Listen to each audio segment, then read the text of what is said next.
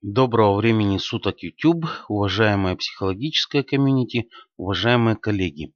Сейчас на данный момент вы видите на своих экранах патопсихологические методики, которые имеет и предлагает к приобретению научно-практический центр АКМЭ. Э, буквально недавно общался с коллегами, со многими вообще общаюсь людьми. И к своему удивлению обнаруживаю, что люди понимают, что такое тесты, какие-то пробы, еще что-то, компьютеризированные методики. Все на это смотрят, все этим кто-то восхищается, кто-то не восхищается, неважно. Но для многих вот тесты да, являются, вот это слово тесты, некая такая вот харизма в этом во всем звучит. Это все понятно, естественно, в этом видео я тоже затрону их. Но я должен сказать о самом важном, на мой взгляд, явлении. Вообще существует, как вы знаете, в мире разные языки. Каждый язык имеет свой алфавит. Вот русский алфавит, да? А, Б, В, Г, Д, Е, Ё, Ж, З и так далее. Соответственно, в психологии тоже существует свой алфавит. И я хочу сказать следующее. Очень многие люди мне задают такие вопросы. Я хочу сказать, на своих экранах вы сейчас видите Алфавит психологический. Можно восхищаться ММПИ, КТ, УСК, нервно-психической устойчивостью методиками, бланковыми или реализованными в каких-то программных продуктах и так далее. Но не зная и не, не используя, не пользуясь тем, что вы сейчас видите, я буду очень резок в своем суждении, в своем высказывании, я об этом уже говорил, но повторюсь еще раз.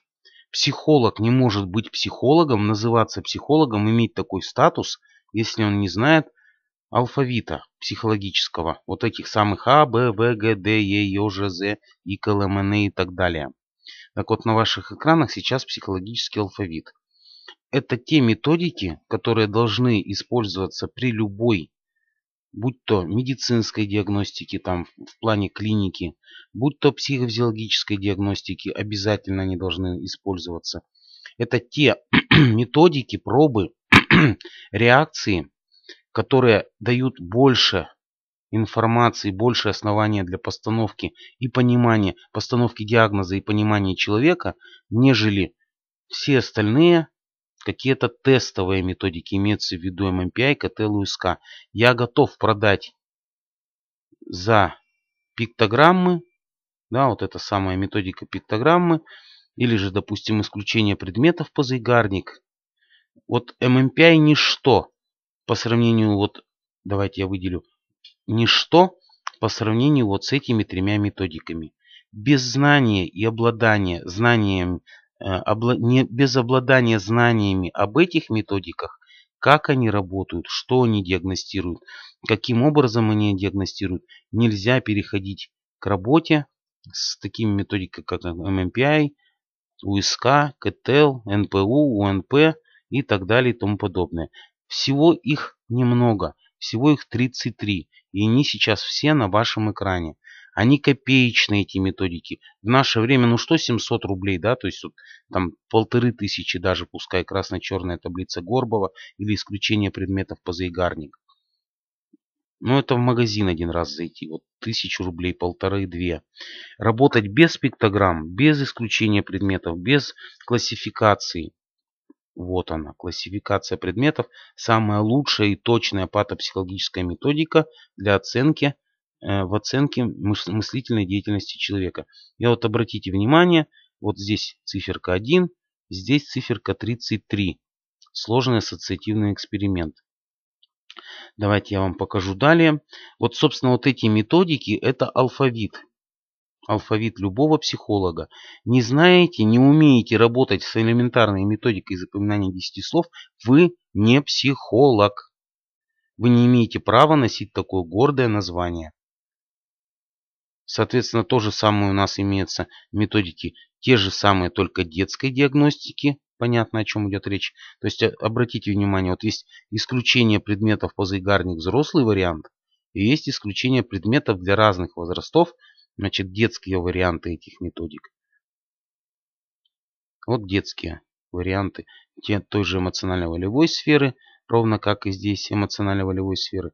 Работаете с детьми, с какими-то возрастными факторами, учитываете их в своей работе, соответственно, берете эти методики. Работаете со взрослым контингентом, берете и работаете с этими методиками. Качественными, патопсихологическими, клиническими, медицинскими э, методиками.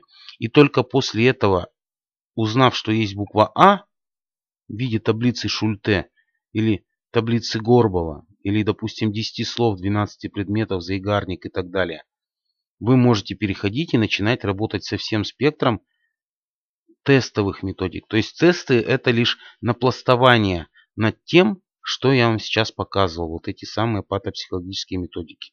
Вот у нас то же самое. Идут MMPI, КТ, ЛУСК, НПУ, Томас, Кот, Равен, Дембо, Рубинштейна, Шульте, СЗМР, РДО и так далее.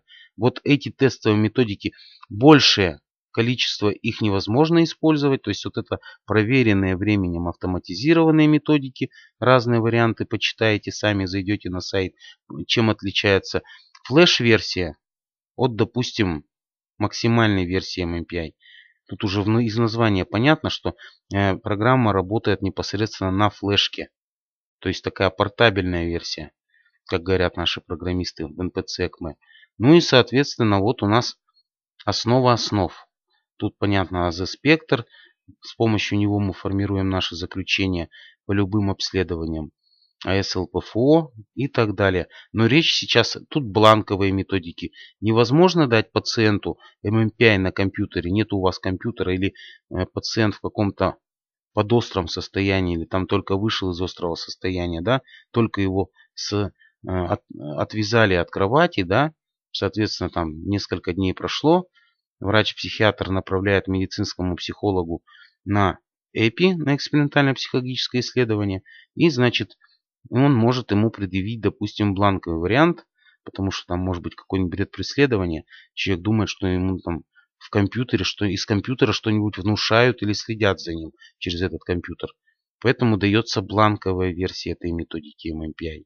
Но это все только после того, как испытуемый человек в клинике или где-либо еще прошел красно-черную таблицу Горбова. Вы поняли, как у него дело обстоит со вниманием память, мышление. Все вот это, все вот эти КТЛ, MMPI, хотя MMPI это свет в окошке, да, то есть это единственная по, по сути своей методика, которой можно и нужно работать, которая действительно работает.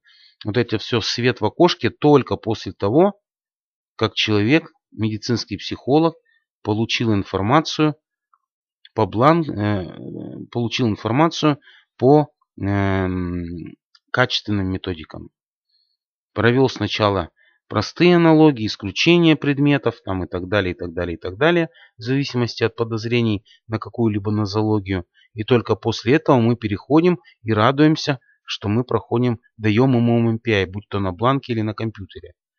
Вот когда иногда бывает такое называют тестологи, кто говорит тестологи, тот, во-первых, сам не понимает, о чем идет речь. Мы тестами не занимаемся.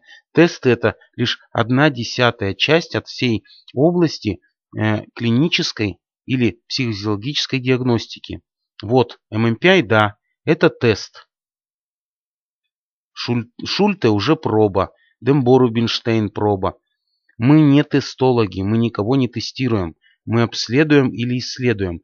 А тест как таковой, вот или автоматизированный компьютерный, или бланковый этот же, этот же тест, он лишь одна десятая часть, он лишь инструмент, какой-то один инструмент из десятков инструментов, которые доступны специалисту, который проводит исследования, диагностику в целом, или экспериментально-психологическое исследование, или психофизиологическое обследование.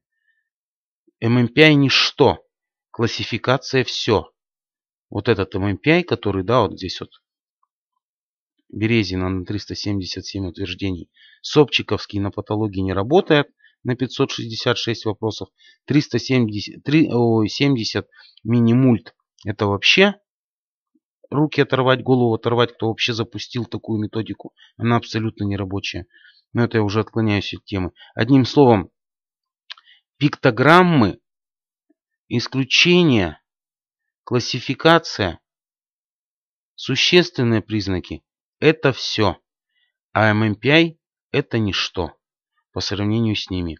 Поэтому не надо обижать людей, занимающихся диагностикой. Они ни в коем случае не, не тестологи.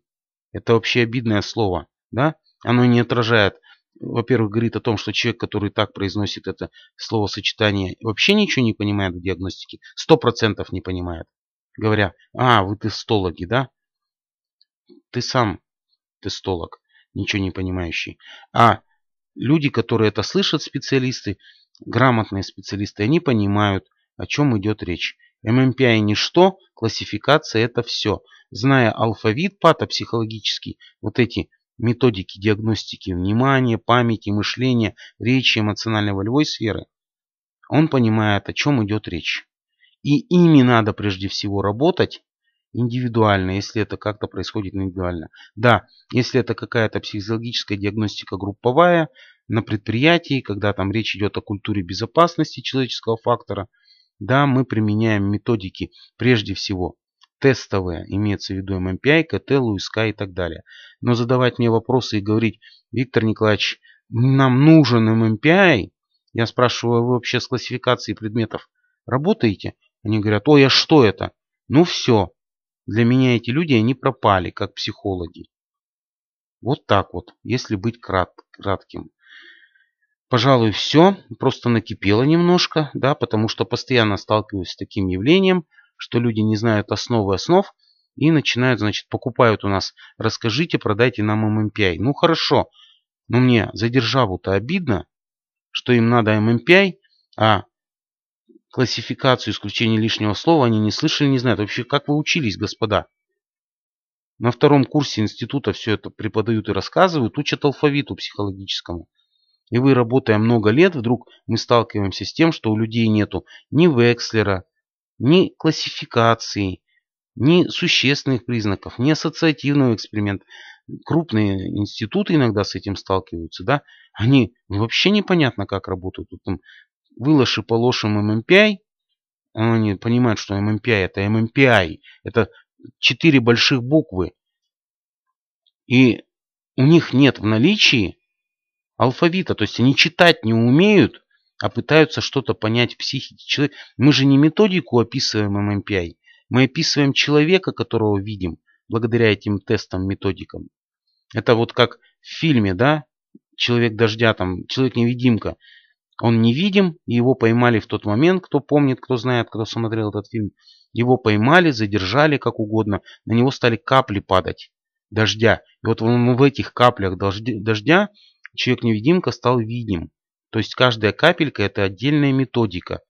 И эти методики, чем больше дождь, да, чем больше капель на человека упало, тем он становится виднее. Его можно увидеть. Но увидеть его надо им можно увидеть не только с помощью MMPI, там, КТЛ и так далее, но и с помощью, и прежде всего с помощью вот этих качественных патопсихологических методик. Исключение предметов, классификации и так далее. Вот о чем идет речь. Надеюсь, вы меня поняли. Надеюсь, это видео, я его как бы актуализировал, эту тему еще раз поднял, потому что вот периодически это все возникает. Я надеюсь, у вас возникнут какие-то вопросы. Ставьте под этим видео лайки, задавайте, не бойтесь мне вопросы под этим видео, не стесняйтесь. И, соответственно, пишите мне на электронную почту. Помогу, расскажу, поясню все, что вас будет интересовать. Все вопросы поясню. Их немного этих методик. Это алфавит. Вот о чем это видео. Спасибо вам за внимание и удачи!